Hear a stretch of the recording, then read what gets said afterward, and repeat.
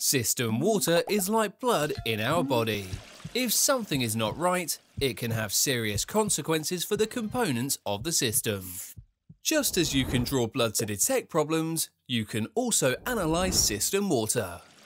There are a lot of parameters that you can examine. There are five main indicators. pH is a measure of acidity.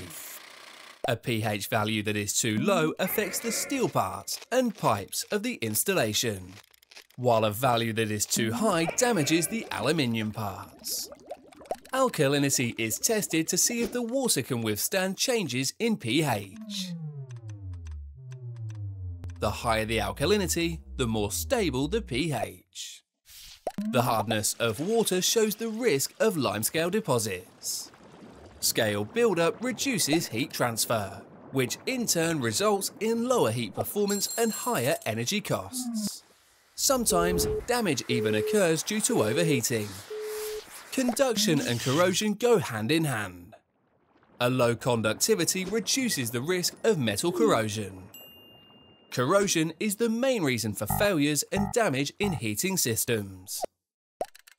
ATP is a molecule found in and around living cells. In other words, if your system water contains ATP, it contains living cells.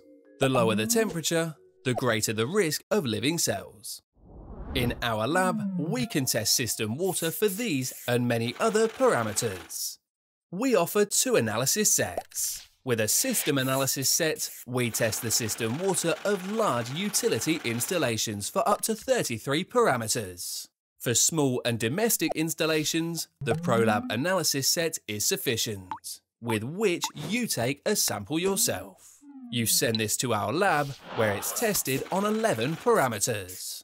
You will receive an extensive analysis report, and we will always advise you on how best to protect your installation. For more information about protecting your heating or cooling system, visit spirotech.com.